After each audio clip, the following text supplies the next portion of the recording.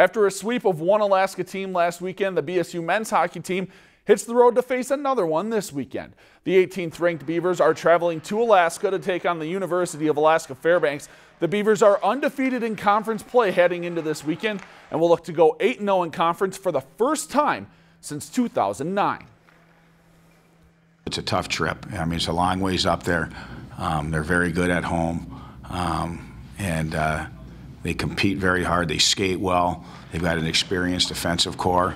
Um, they're physical. The bottom line is you just want to play well. I mean, you just want to play well. And again, I mentioned earlier, it's a long trip.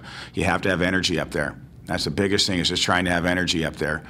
If you've enjoyed this segment of Lakeland News, please consider making a tax-deductible contribution to Lakeland Public Television.